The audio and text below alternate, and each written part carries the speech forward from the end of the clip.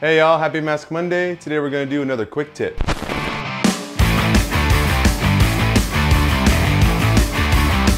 Today I'm gonna do something I actually haven't done in a long time, which is uh, I'm gonna make a sculpting tool.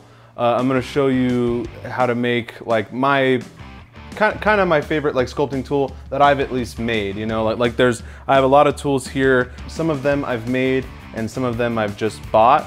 Um, so I'll kind of show you the main ones that I like to use, um, and then uh, I'll show you kind of how to make um, one that I use a lot that I think is really useful that isn't really something that you can buy in a store. Um, and it's pretty cheap and easy to make. There are these big rakes. So these are for like uh, your big like primary forms and smoothing, um, you know, getting stuff out. So these big rakes I'll use a lot. Um, this is a really, this one's a really good tip. This is made by CES. Um, and this is what kind of inspired the kind of tool that I'm gonna make today. Um, so I'll kind of keep that one out for like reference on like sizing and stuff like that. So these are rakes that I'm not gonna make one of these today, um, but uh, this one I think I bought from Ken's Tools and this one uh, I made. It works almost the same. Obviously this one is prettier though, but this one works just, you know, just as good. So again, these are rakes. So like these are, these are really, really big rakes and then these are a lot finer. So like kind of like primary form shaping, secondary form shaping. You can do a lot of detail work with these two. Let's see, uh, these I really love. I love the wooden ends of these, and then they have these big loops. So you get that like triangular one and that more circular one. Uh, these are Kemper tools. This is a really small version of that. This is kind of famously called the Rick Baker tool by a lot of people um, because there's a picture um, of him using this on his like infamous troll sculpture. What's inconsistent with these is the shape you get on the back of this. Um, so sometimes it'll be thicker, sometimes it'll be thinner, but that's something you could easily go in and just sand uh, to your liking, uh, the shape of that. This is a kidney rake. That's really good for smoothing down surfaces, especially when you're first starting out the primary forms. And so this tool right here is kind of what we're gonna make today. Uh, very similar to this anyways. It'll be a little bit different. Um, I haven't really seen a company that sells anything exactly like this. These are like shapes and stuff I pre-made. So this is all like from the twisted brass, but I'm gonna show you the process of twisting it. So if I wanted to make something new, I'd probably just go into there and grab one of these. This is a really cool tool. This is a jewelry crimping tool. So you see there's like those little grooves in there. So you'll like put it in there and yeah. So again, you can get that like a Hobby Lobby or whatever. This is like needle nose pliers basically, but they're rounded, they're smooth. So you can use that to bend stuff or to just grab it in a certain way without like damaging it. Clippers, wire clippers or whatever, some small needle nose pliers, and you can see I put like some grip tape. Those are the kind of basic tools that I'll be using. What you're gonna need is some brass tubing. So this is, again, circular brass tubing. You can also find this at hobby stores or online. So here's a bunch of different gauge guitar string um, and bass string.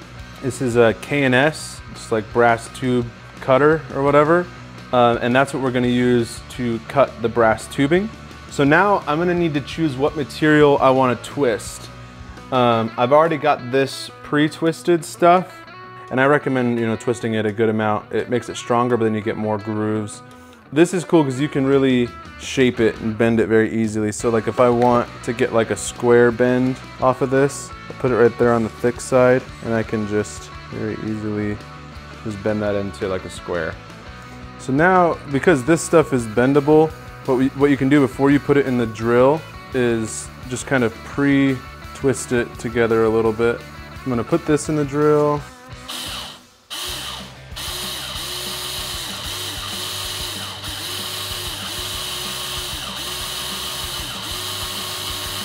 You know, that's a decent uh, coil or whatever, but uh, I want it to be a little bit tighter. And again, that's just two pieces of wire twisted together with the drill. And again, because of the kind of bendability of this stuff, it's not super stiff. It's gonna be easy for me to bend the shape that I want. Okay, now I want to bend this in basically. I'm gonna bend that right about there. Bend that right about there. So now I've got that end. So that's a possible end. That might be a little bit bigger than I want it to be. So I'm gonna go ahead and make another one that's kind of the size of this.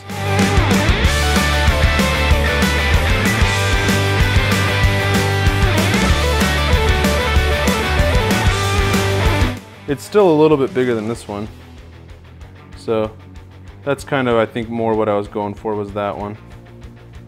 So we'll go with that. I need to figure out if I can fit it into this brass tubing. And so it's gonna end up pretty much being like that. So that's good. I like that size. That's good for now. Let's see what this one looks like. Yeah, so that's pretty big. It's a lot of give to that. But you know, I can squeeze this and just keep kind of forcing each side in there and maybe even end up with something interesting. Like, so now I'm getting a little bit of that shape because I'm pushing in this side more. So now I've got like a, kind of a nice little triangular shape. If I wanted to do a circular version, I can get these, these guys and do the same kind of bending technique. So now I've got like a little circular thing and I can make that thing bigger just by doing that. And that can just be shoved into here as well. You know, just as easily you get, you know, a circular loop kind of shape. Now I also need to make the guitar string end.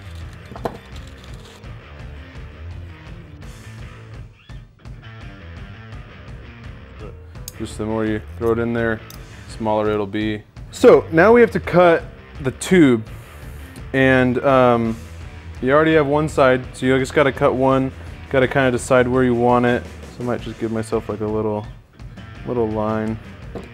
Yeah, I think that that's a good size. Okay, so this thing's weird. Uh, loosen it up enough to fit that in there, like a circular like pizza blade in there.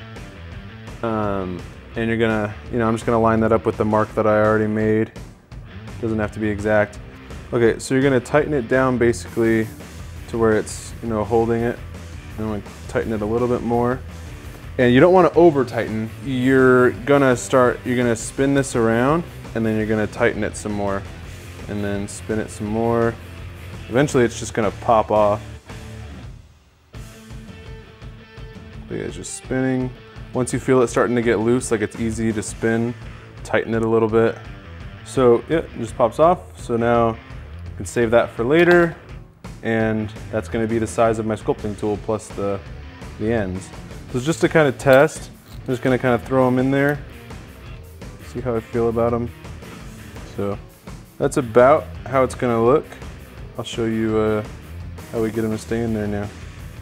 I'm gonna do an initial kind of crimp with uh, the needle nose pliers with the tape on it. And I'm just gonna kind of squeeze it down, flatten it out a little bit. Now, what you're gonna wanna do is use these crimping uh, this crimping tool. This right here would probably be enough to where you can use this, but we're gonna go the extra measure of um, putting some five minute epoxy in there and gluing it in. And uh, so like I said, at this point, you can probably start sculpting with it, but you might end up yanking them out and having to, you know, do it again or whatever. So.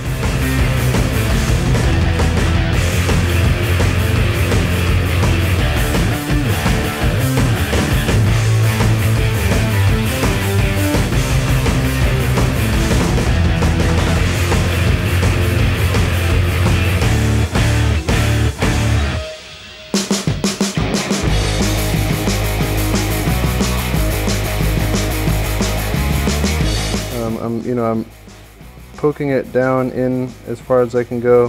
But then once I kind of feel like I've gotten that, I'm gonna go around the edges here.